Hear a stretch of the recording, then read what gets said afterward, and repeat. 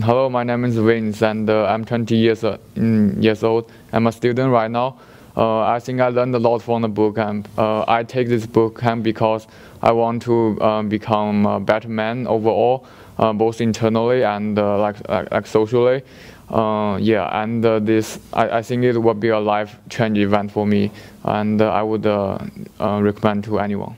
Thanks for watching our video. I hope you liked it. And make sure you guys subscribe to this channel and watch all our other videos. Great news too. Every Monday, we'll be putting out a new weekly video. That's right, we've got educational seminars, street interviews, uh, fun infield pickup videos, and anything else we can come up with that's fun for you guys to watch. So check back.